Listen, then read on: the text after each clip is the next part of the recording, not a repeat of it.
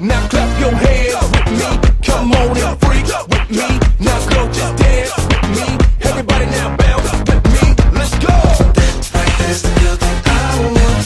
Should I let her know? Should I push up on her right now? Or should I take it slow? That's right, that's the girl that I want. Should I let her know? Should I take it slow? Or should I let her know?